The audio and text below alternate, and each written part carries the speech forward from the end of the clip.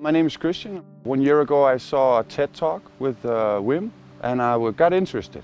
And uh, I found uh, some of the method and I tried it out and I felt um, there's something here. I tried doing it and, and I find it uh, calming. So I got more interested and I, I found out I could uh, use it in my daily life. Uh, I have kids, I have work, I go to school, I have a busy schedule. It's easier for me than do meditation because it has a physical aspect. So if I wake up grumpy and I don't uh, have the energy, I can do a session and it, it can change my mood. I can go from uh, being angry maybe or like this and, and be happy. It makes me smile and it makes me focus. I can use this focus uh, with my kids and in my everyday life. It makes a difference for me. I think that anyone can benefit from this because we have busy schedules in the Western world. We live busy lives. You can get caught up in the, the busy life and you forget to live. And if you forget to live, you forget to love. And then what's the point? Not getting enough sleep, which is quite common uh, when you have kids.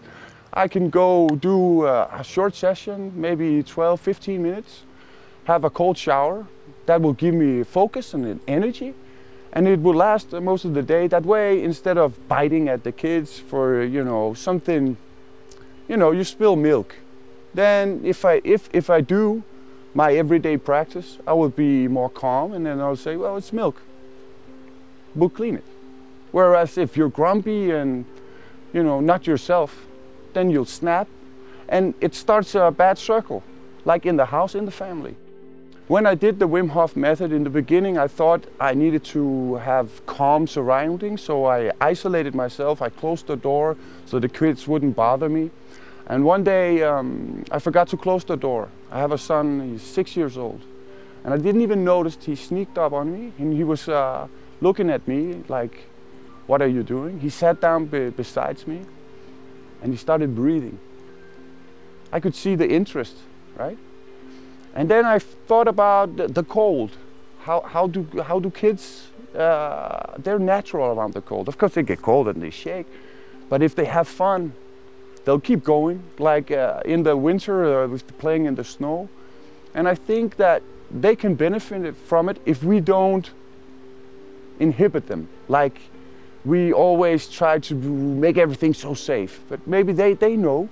They know when it's enough for them. And the same with the breathing. They're so natural. They breathe with their bellies, with the stomach, like we're supposed to, instead of just up here. And uh, well, my big son Mads, uh, he, he, he did uh, some breathing with me. And I can see the, the, the, the, that he's interested. And I'm, I, after this experience, now that I've been here, conquering the cold and getting deeper into the method, I, uh, I definitely want to share it with uh, my kids too and my wife. Everyone can benefit from this.